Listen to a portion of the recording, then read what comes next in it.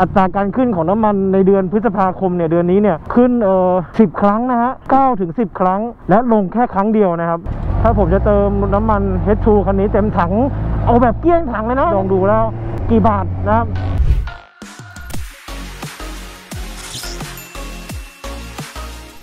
โอเคฮะก็สวัสดีเพื่อนทุกท่านนะฮะตอนนี้ผมก็อยู่ข้างนอกนะฮะก็ถามว่าออกมาทำอะไรก็ไม่รู้จะไปไหนนะฮะแล้วก็วันนี้จะมาพูดถึงหนึ่งหนึ่งเรื่องที่มีผลกระทบต่อการใช้ชีวิตของคนทุกคนเลยดีกว่า เอางี้ดีกว่า ทุกชนชั้นเลย ก็ทุกคนข้างหน้าก็เห็นรถผมนะครับก็เป็นรถมอเตอร์ไซค์แหละ แล้วง่ายๆว่าพอพูดถึงมอเตอร์ไซค์เนี่ยก็ต้อง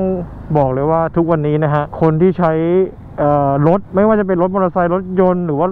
ทุกอย่างที่เกี่ยวกับการสัญจรหรือการใช้ชีวิตเนี่ยที่สำคัญเลยคือเรื่องน้ำมันนะครับ วันนี้ผมจะมาพูดเรื่องน้ำมันให้ทุกคนฟังนิดหนึ่งเดือนนี้เป็นเดือนเอ่อพฤษภาคมนะฮะเอ่อ2565ก็ต้องบอกว่าจากที่ผมได้ดูแผนผังของเอ่ออัตราน้ำมันที่ขึ้นมาแบบโอ้โหหูฉีกเลยอะ่ะคือตั้งแต่เดือนผมไปดูตารางมานั้นตั้งแต่เดือนเอ่อพฤษภาตั้งแต่ต้นเดือนจนมาถึงวันนี้ วันนี้ที่ผมใส่คลิปก็คือวันที่ 31 พฤษภาแล้วพรุ่งนี้เดือนมิถุนาแล้วนะฮะ แล้วก็พรุ่งนี้เนี่ยน้ำมันก็จะขึ้นอีก 80 สตางค์นะครับ อัตราการขึ้นของน้ำมันในเดือนพฤษภาคมเนี่ยเดือนนี้เนี่ยขึ้นเอ่อ10ครั้งนะฮะ9ถึง10ครั้ง และลงแค่ครั้งเดียวนะครับ ลงแค่ครั้งเดียวก็คือลงแค่ 40 สตางค์แค่ครั้งเดียวนอกนั้นขึ้นหมดเลยนะฮะขึ้น 40 60 80 อยู่อย่างนี้ตลอดเลยฮะการขึ้นของน้ำมันมันมันเยอะมากนะครับ ซึ่งบอกตรงมันมีผลต่อการใช้ชีวิตหลายๆอย่างมาผมก็มีผลนะเอาตรงผมก็ขับน้อยเลยอะเพราะว่าน้ำมันมัน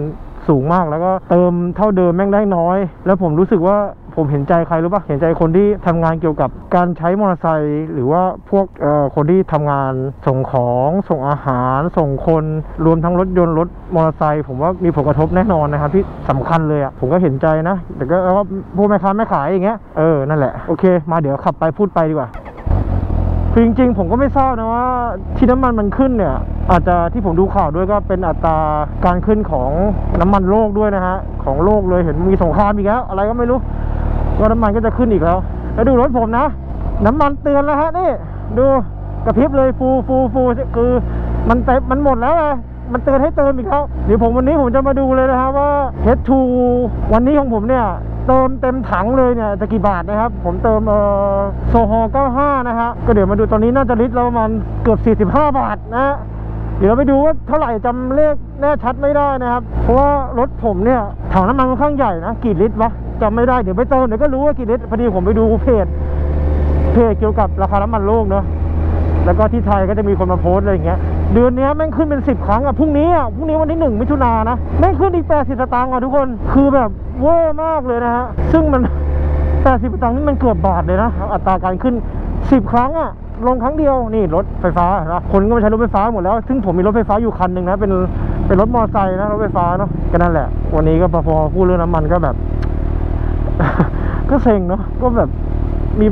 คือจริงๆตอนนี้ผมใช้รถยนต์เยอะเนาะรู้เลยว่าแบบน้ำมันแม่งหมดเติมตลอดอะแล้วนี่พอมามามอเตอร์ไซค์แม่งอัตราการกินน้ำมันแม่งเยอะกว่ารถยนต์อีกนะตอนเดี๋ยวไปดูว่า ถ้าผมจะเติมน้ำมัน H2 คันนี้เต็มถัง เอาแบบเกลี้ยงถังเลยนะนี่ มันขึ้นเตือนถ้าขึ้นเตือนอย่างเงี้ยมันขับได้อีกประมาณสักยี่สิบสามสิบโลอะนะแต่ต้องบอกว่า น้ำมันผมมันเตือนอย่างเงี้ยมาตั้งแต่รอบที่แล้วที่ผมขับแล้วนะครับ ผมก็เลยไม่รู้ว่ามันเหลือกี่โลแล้วเดี๋ยวผมจะแวะเติมลองดูแล้ว ว่ากี่บาทนะครับ ก็เดี๋ยวเรามาดูกันเพราะว่าอยากดูว่ามันจะยังไงโอ้มันขึ้นเยอะจริงๆอะแล้วขึ้นในรอบประวัติการของของเมืองไทยเลยนะโอ้โห สุดๆ นั่นแหละ แล้วล่าสุดก็ได้ผู้ว่านะคนใหม่นะโอ้ยผมดีใจดีใจ ผู้ว่าชาติชาตินะครับเนี่ย ก็อยากจะทำให้สังคมกรุงเทพมันดีขึ้น นี่เรามาพูดเรื่องการเมืองกันหรือวะไม่ใช่การเมืองนะผมก็พูดเสนอในความคิดเห็นของประชาชนคนหนึ่งนะครับ ก็อย่าไปดราม่าอย่าไปอะไรไปนะ ดูดูแล้วพอทุกคนเขารู้ว่าน้ำมันมันขึ้นอะ คนมาแห่ต่อแถวเติมน้ำมันกันแบบเต็มปั๊ม ดูดิอย่าหาว่าโมตอนนี้95ที่ผมเติมนะครับแก๊สโซฮอล์95ลิตรละ43ลิตรละ43บาทจุด90ก็คือ44บาทแม่เจ้า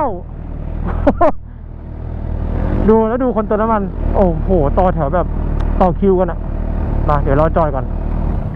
น้ำมันก็แพงเกิน แล้วคือนี่นะ ทุกคนดูป้ายนะ นี่สี่สิบสามจุดเก้าศูนย์นะ พรุ่งนี้มันขึ้นอีกแปดสิบตังค์นะ ตีไปขึ้นอีกบาทหนึ่งอะ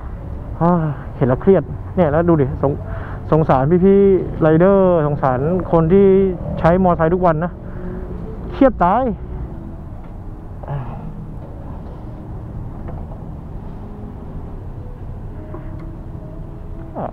ก็ห้าเต็มถังครับ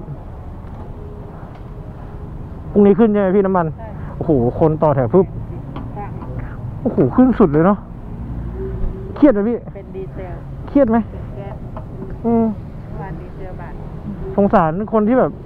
โอ้ยสงสารตัวผมเองด้วยเดียวตรงทุกคนนะเอเดี๋ยวอทุกอาชีพทุกสาขานี่อะไรโดนกันหมดใช่ อย่างพวกพี่นี่รายวัน เห็นปะล่ะก็จะใช้ของแพงกินของแพงอีกอ่า ถูก ใช่ไหมอืมอย่างพวก น้องนี่ทำงานนอกบ้านทางไกลๆก็ต้องใช้รถใช่ มันใช้อยู่แล้วขนาดพี่มาทำงานพี่ยังใช้รถเลยถูกปะอย่างที่พี่นั่งสองแถวเอาที่ไม่กล้าขับอืมเอาตรงๆแค่ออกจากบ้านก็เสียตังค์แล้วอะแถวช่วงที่พี่ก็เดือดร้อนเหมือนกันอืมฮะอุ้ยเดี๋ยวเดี๋ยวแป๊บนึงนะป้าเดี๋ยวผมลองลองเอารถตรงๆดูเต็มถังมันเท่าไหร่ห้าร้อยถึงวะไม่น่าถึงนะห้าร้อยก็ได้ครับ ขู่ได้อีกนะโอ้โห ซื้อมันมอไซค์ห้าร้อยห้าร้อยยังไม่เต็มนะยังไม่เต็มด้วยไหมได้ประมาณหกร้อยหกหกตรงนี้มันจะเป็นโครงเอาเหรอ อ๋อป้าบอกว่าน่าจะได้อีกนะ โอ้โหอุ้ยกระเด็นผมหยิบตังค์หนึ่งครับ ครับเห็นไหมป้าป้ายังเครียดเลยขนาดนั่งลงแถวมายังเครียดเลยเห็นไหมเนอะแพงไปหมด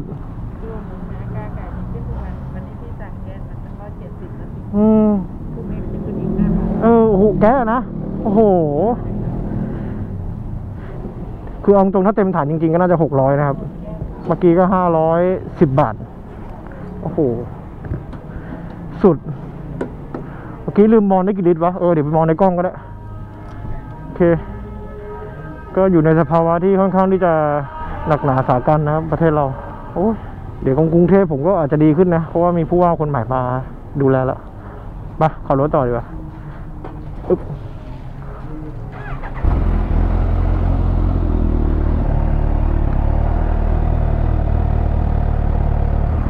เราเติมน้ำมันแล้วเราก็ขับรถได้นะฮะตอนนี้ฮะเราไปไหนดีวะ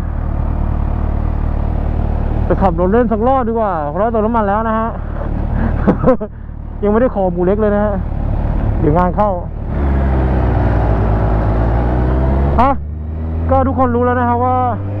เต็มถังก็เอาจริงก็ห้าร้อยกว่าบาทหกร้อยอะโอ้โหไม่เคยเจอ